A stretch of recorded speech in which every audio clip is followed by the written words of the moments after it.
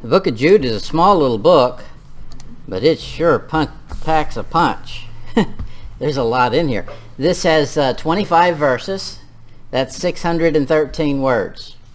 You can read it. Alexander Scourby reads it in under five minutes. Let's say that you read half the speed of Scourby. 10 minutes. you waste 10 minutes ordering something at the restaurant or the McDonald's or wherever you go. Now, I say 10 minutes, but what's going to happen is if you start reading this book, it's going to say, hey, whoa, you didn't know about this. Or, hey, I just told you about something you never even heard of. And I'm assuming that you already know it. And you're going to slow down and you're going to say, wait a minute, what's he talking about? And then it may take you months to get through the book. it's one of those type books. The theme of the book is contending for the faith. Uh, Jude is the um, gen- this book has a general um, description of what's going to happen in the end times. Now it's already beginning to happen now, but it's going to accelerate. Once we get out of here, there's no, um, you know, we're a we don't think of it this way, but we are Christians. There's a lot of Christians on this earth. There really are. And when we're gone, there's a whole lot of devilment on this earth. I mean, literally. And so the tide's going to turn and it's going to turn fast.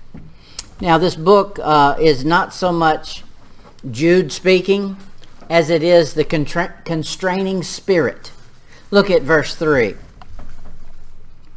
Beloved, when I gave all diligence to write unto you of the common salvation, it was needful for me to write unto you. well, he started off with, I wanted to write you, but then a need popped up. Needful for me to write unto you and exhort you that you should earnestly contend for the faith which was once delivered unto the saints. So Jude's going to tell us about uh, things that happen in the spirit realm. He's going to give you the insight into what's going on in, in the demonic world. And this you don't want to delve into just out of curiosity. You want to do it based on Bible, what God has to say about it and learn where your stance is, what you're supposed to know and not supposed to know. If it's revealed in Scripture, you're supposed to know it. If you go down to the palm reader, you're not supposed to know it. Jude 1, look at verse 6. The angels which kept not their first estate, but left their own habitation, he hath reserved in everlasting chains under darkness unto the judgment of the great day. So he's going to reveal the reason for the destruction of the world by a flood. Then he's also going to talk about the destruction of Sodom and Gomorrah by fire. God's two main ways of uh, final judgment, water and fire. In verse 7, even as Sodom and Gomorrah and the cities about them in like manner. How many cities were there? Five. Death giving themselves over to fornication and going after strange flesh, are set forth for an example, suffering the vengeance of eternal fire. Um, fornication never has a good connotation. it's connected right there with hell. So that that's a that should be a normal thing that comes up in preachers' messages. it used to be. Yes. should still be. The same perversion that was going on in Sodom and Gomorrah is going to be going on in the tribulation. And it's probably already maybe starting to begin. Matthew 24.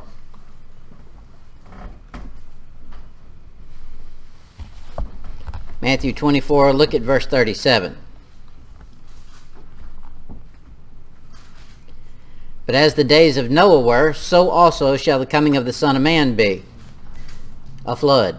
38. And well, a lot more connected to it than just water. Verse 38. For as in the days that it were before, for as it, for as in the days that were before the flood, they were eating and drinking and marrying and giving in marriage until the day that Noah entered into the ark.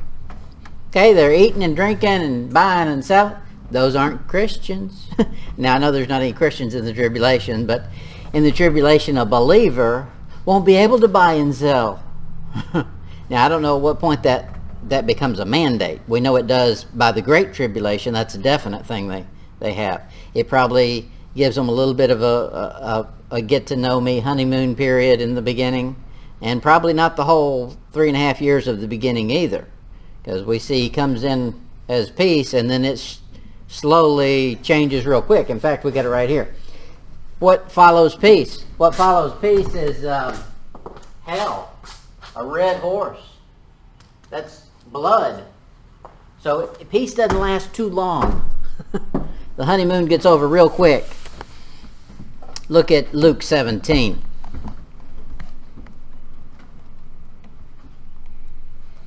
Luke 17, 26. And as it was in the days of Noah, so shall it be in the days of the Son of Man. They did eat, they did drink, they married wives, they were given in marriage until the day that Noah entered into the ark and the flood came, came and destroyed them all. Not the ones in the ark, but the ones who weren't. 20, 28. Likewise also, as in the days of Lot. So there's another connection they did eat, they did drink, they bought, they sold, they planted, they builded. They thought they were in for good times. Trump's going to bring in peace. the second coming of Trump is going to reset righteousness in the world. That's the message that the ultra-right is preaching right now. I don't know if you hear it, but if you get on the right channels, that's what they're saying. Uh, verse 29. But the same day that Lot went uh, out of Sodom, it rained fire and brimstone from heaven and destroyed them all. Even thus shall it be in the day when the Son of Man is revealed. In that day he shall be upon uh, he uh, he which shall be upon the housetop and his stuff in the house, let him not come down to take it away. And he that is in the field, let him likewise not return back. Remember Lot's wife? the author of this book is, of course, Jude. Jude is a shortened version of Judas. Jude is also a derivative of Judah. Uh, all that Jude. Uh, Jude here is the apostle of the Lord Jesus Christ and, the, and uh, brother to James. He says so in, in our passage. But let's find him where he was as an apostle. Luke 6, verse 16.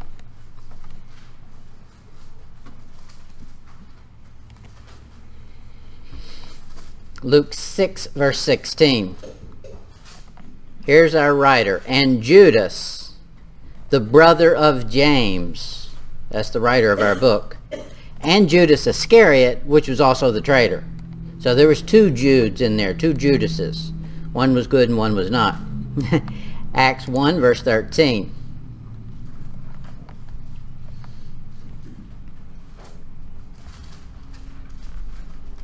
Acts 1.13.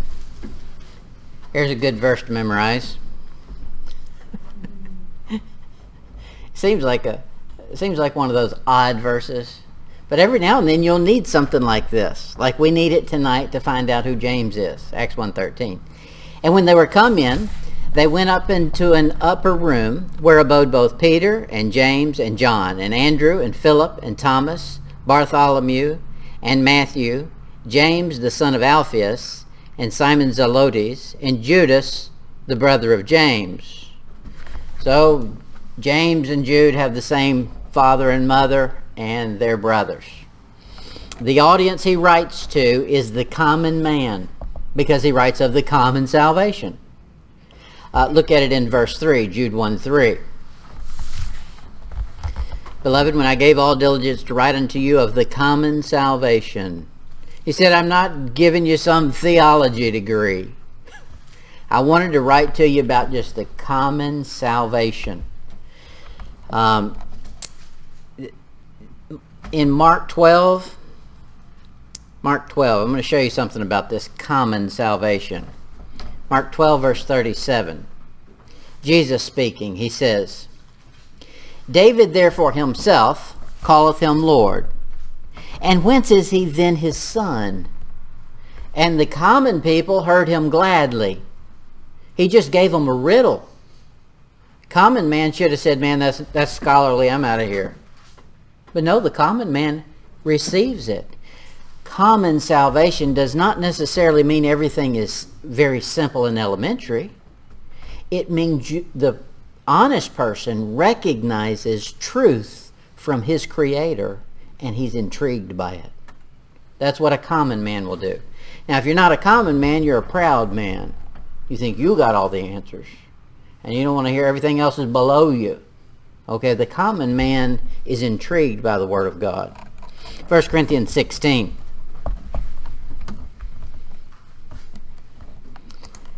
First Corinthians 16, verse 13. Watch ye, stand fast in the faith, quit ye like men, be strong. You've got to be a wimp in order to say that verse applies to you. You don't walk up to Arnold Schwarzenegger and say, hey, you need to be strong. okay? We should recognize, as Christians, we're wimps. We're weaklings. And our job is to take the warning here. We need to be strong. Okay, so we go to where strength is. Our strength made perfect in weakness. When I'm weak, he's strong. Okay, there we go. Say, uh, 2 Corinthians 13.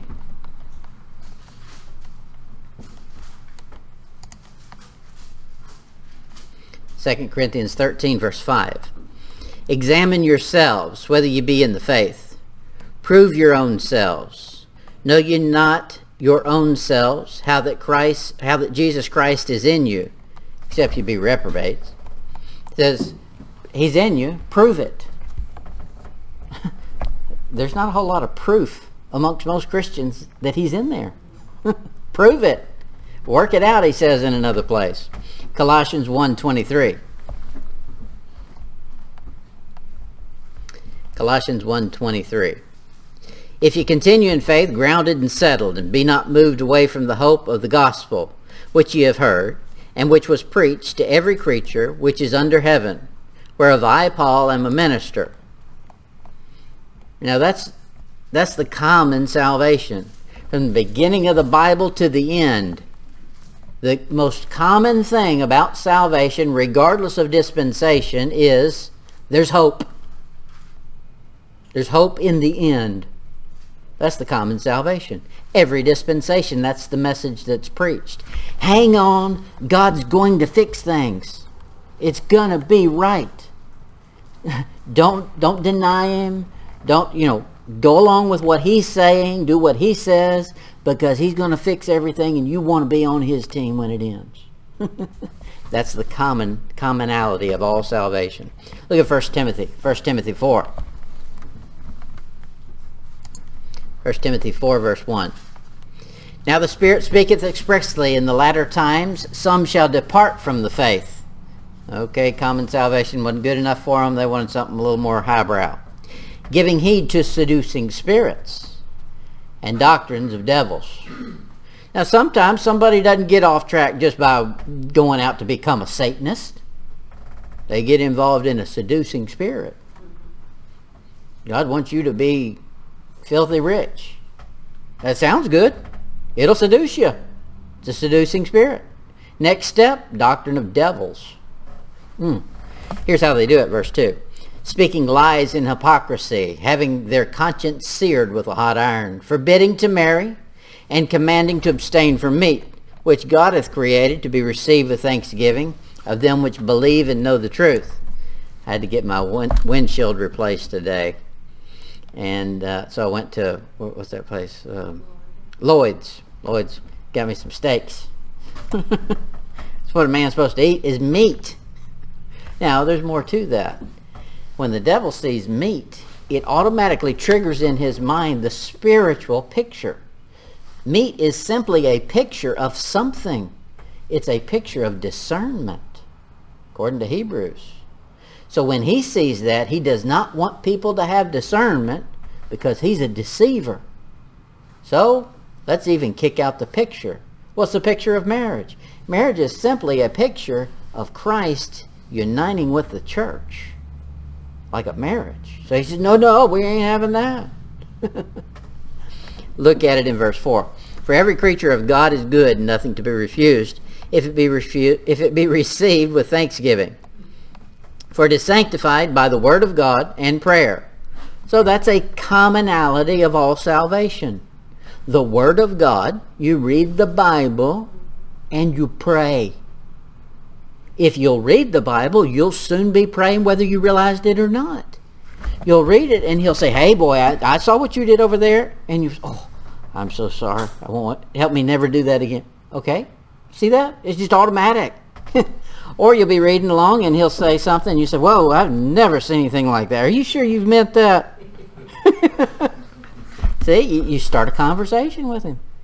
That's the great thing about this book. You have access to the author. Okay, let's move on. The enemy in our book in Jude. This spiritual war is to be waged against evil doctrines and false prophets. That's what's going to show up in the latter times. False prophets. Not less religion, more religion.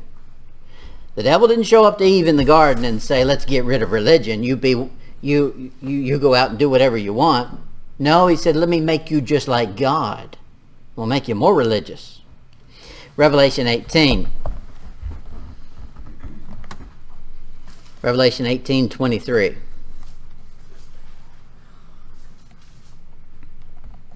And the light of a candle shall shine no more at all in thee, and the voice of the bridegroom and of the bride shall be heard no more at all in thee.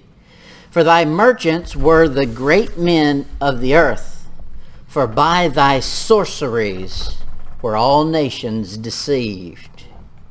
It's going to become satanic. It's going to be um, a the next level of what people call karma. Do good deeds and you get good deeds. Okay. Well, that may or may not be true, but it's not based on the universe repaying you. It's based on God and his mercy. That's what it's based on. but you start attributing it to these supernatural um, energy sources, and that's where it's all going. You know, we got to get away from coal and go to green energy. So it's all going to be some supernatural energy force. That's where we're heading. The artillery we're going to use in this warfare, of course, is going to be exposing the doctrine of the devil and the false prophets. You got to expose them. Revelation 6 verse 9. Revelation 6 verse 9. Now the way this gets exposed is not by the celebrity Christian. Doesn't mean much. That's just a smooth talker. That's somebody everybody worships. The world's got that too. The way it gets exposed is by common, ordinary Joe the common man. That's the one that exposes it, and that's the one that matters. Because when just your buddy shows up and says, hey, look, the Bible says that's wrong. Look right here. And he doesn't say, Billy Graham taught me. Okay, well then it's, you think, well, hey, I'm just as smart as he is. Maybe I need to look at that. okay, that's where it matters, the common man. He says in Revelation 6, verse 9, And when he had opened the fifth seal, I saw under the altar the souls of them, them that were slain for the word of God and for the testimony which they held. Common man can do some uncommon things with an uncommon book, the Word of God. Now, if you'll stand on that Word of God, that's how you'll be known. It's going to be your testimony. You're a walking Bible. I've had several people say, have you got that whole Bible memorized? I wish. Just because I know five verses is more than most. and some of those I don't even quote right. Revelation 12. Revelation 12, verse 11. They overcame him by the blood of the Lamb and by the word of their testimony, and they loved not their lives unto the death. Whew! That's really standing behind what you believe when you're willing to die for it. Ask most Christians what they're willing to die for. It sure ain't going to church. Because most of them dropped that as soon as a, a, flu bug came out. I, I mean, what is it? Where's the line? I don't know. Revelation 12, look at verse 17. And the dragon was wroth with the woman and went to make war with the remnant of her seed, which kept the commandments of God and have the testimony of Jesus Christ. Commandments, that is, find something to obey. Well, you don't have to look very hard. You should read the Bible and God will point it out to you real quick. Now, I'm not saying it's it's the Ten Commandments. Everybody knows those, and none, none of us do those. And you do some of them. That's good. But the commandments I'm talking about are the everyday commandments. He'll give you some commandments that nobody else will see. It won't have anything to do with anybody else but you. And to you, it'll be a commandment. And you obey that commandment. And you'll get the testimony of Jesus Christ. Other people will notice it. Jude, look at verse 20.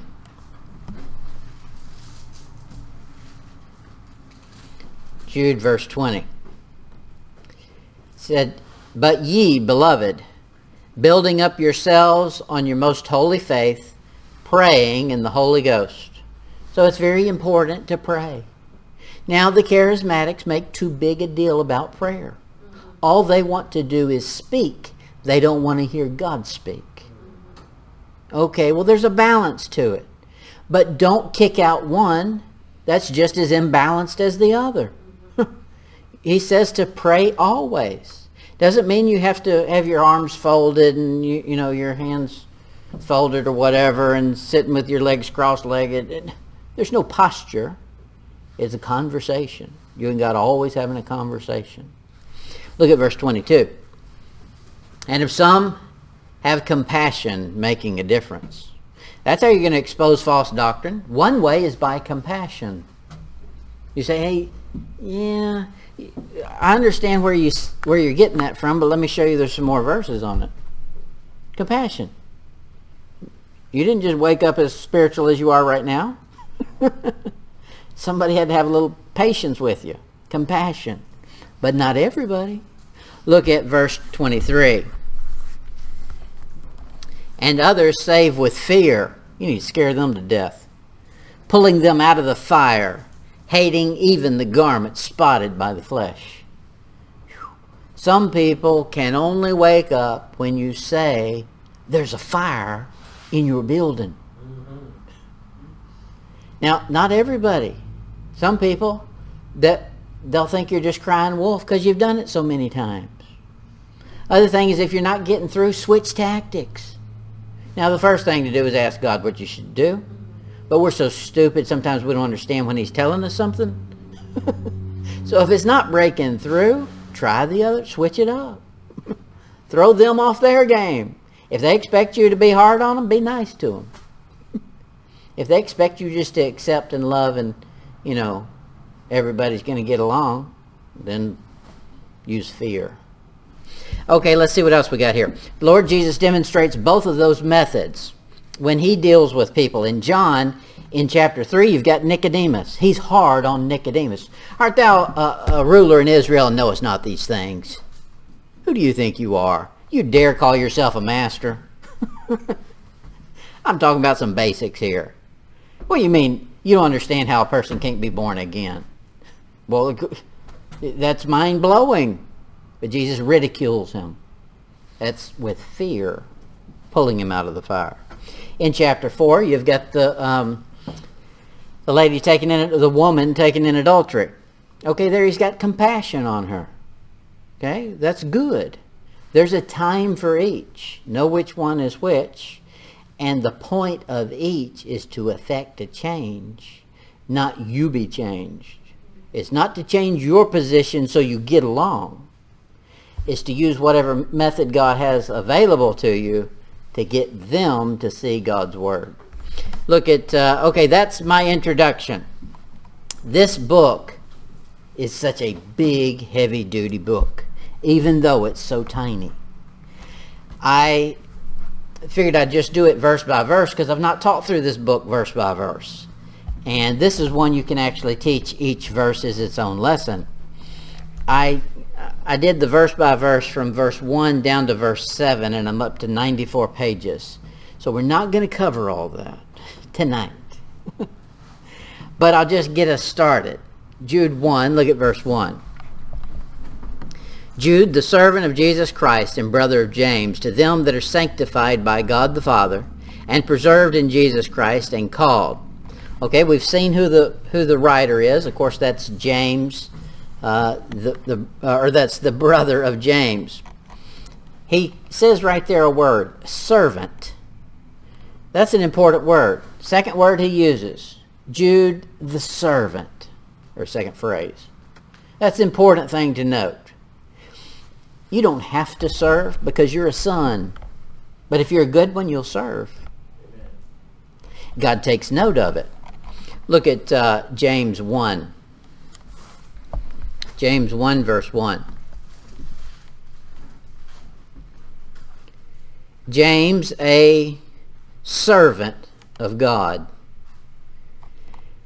Look at it in chapter 2.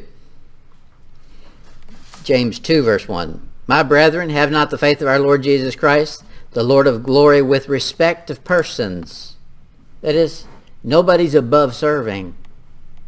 Hmm, we should all be his servant. James 3 verse 1. My brethren, be not many masters, knowing that we shall receive the greater condemnation. Now you notice a word that keeps showing up with this in this same train of thought. Servants, brethren. Brethren, servants. The book we're in is James. That's Jewish. The servants, that word is connected with the Jew. We're not really servants. That's not our identity. Our identity is sons. There's a nation whose identity is a servant of the Most High God. Look at it in James 5.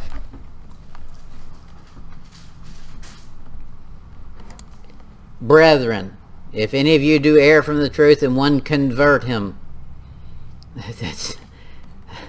But that's that brethren again. It's talking to a certain race, a certain tribe of people. That's James 5 verse 19. Brethren, if any do err from the truth and one convert him. Look at, uh, let's find another book similar to it. 2 Peter 1.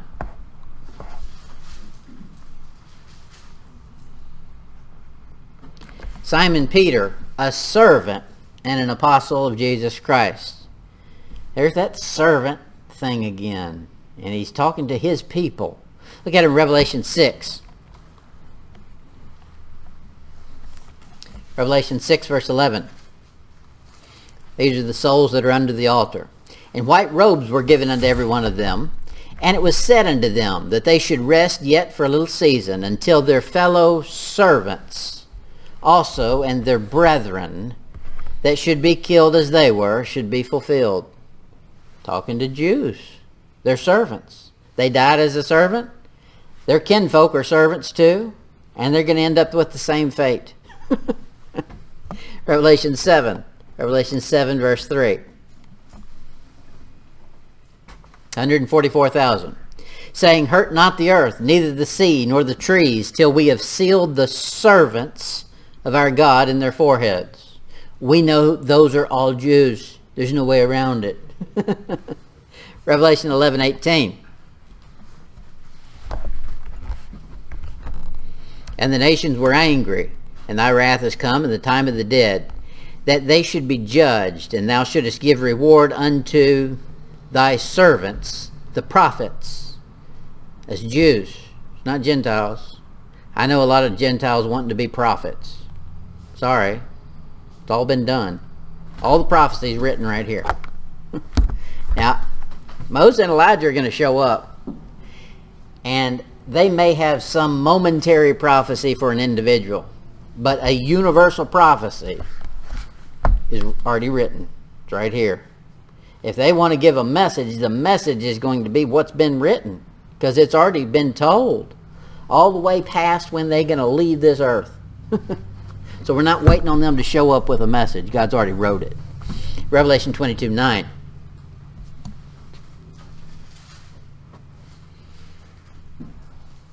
Then said he unto me, See thou do it not, for I am thy fellow servant, and of thy brethren, the prophets, and of them which keep the sayings of this book worship God. Servant, servant. It's always a Jewish connotation in this book. And that's the way Jude begins it because that's who's, who's, who it's aimed at, is the Jew in the tribulation. Look at Jude uh, verse 2. Jude verse 2. Now, think about it. You're in the tribulation. You're not, but put yourself there. you're a Jew in the tribulation. Somebody's writing you a book that's direct from God, and here's what they have to say. This is really where the message begins, verse 2. Mercy unto you, and peace, and love be multiplied. Isn't that going to be an encouraging message for a Jew in the tribulation to receive? Yes. We read it and it just looks like flowery speech. No, it's not flowery speech. When, it, when you can't buy anything and you can't sell anything and everybody is out to get a brownie point for killing you, uh, that'd be a good one to get. Romans 1, look at verse 7. This is nothing new. Every time that the church is persecuted, this becomes an important message. And they're blessed by reading it. Romans 1, 7. To all that be in Rome, beloved of God, called to be saints, grace to you and peace from God our Father and the Lord Jesus Christ. We've only had two weeks of Biden, and I like the sound of this verse. Just wait till the next two years. That verse might have more meaning, won't it? Hebrews 4. Hebrews 4, verse 16. When you can't find peace anywhere, this is the place a Christian has the pass that we can go to. Hebrews 4:16. Let us therefore come boldly unto the throne of grace, that we may obtain, obtain mercy and find grace to help in time of need. That's another good one. If you're in the tribulation, don't you think that verse is going to mean a whole lot? Now, America doesn't really see much tribulation, I understand that, but there's lots of places in this world that are right now. And those verses mean something. Yeah. Yeah, who knows? I hope not, but we'll see. First Peter 1. First Peter 1 verse 2. Elect according to the foreknowledge of God the Father through sanctification of the Spirit unto obedience and sprinkling of the blood of Jesus Christ. Grace unto you and peace be multiplied. Now, don't you know that's going to cause somebody with a bad attitude to say, who does he think he's writing to? Can he not see what's going on? There ain't no grace and peace being multiplied. Okay, even there, they're going to have to learn to walk in the Spirit. because it won't be apparent. Now God will step in and give them grace and peace spiritually. But it won't be physically because physically it's going to be literally hell on earth. Revelation 1. Revelation 1 verse 4. We know Revelation is about the tribulation, or most of it is. Verse 4, John's going to write it. John, to the seven churches which are in Asia, grace, there it is, be unto you, and peace from him which is, and which was, and which is to come, and from the seven spirits which are before his throne, and from Jesus Christ, who is the faithful witness, the first begotten of the dead, and the prince of the kings of the earth. Unto him that loved us, there's that loved, and washed us from our sins in his own blood, and hath made us kings and priests unto God and his Father. To him be glory and dominion forever and ever. Amen. Sounds good, unless you're sitting in the tribulation. And you say, I don't feel like no king. I'm getting persecuted by every king. I don't feel like no prince. it's going to be spiritual. They're going. It's going to be tough. I'm glad I'm not going to be around for it.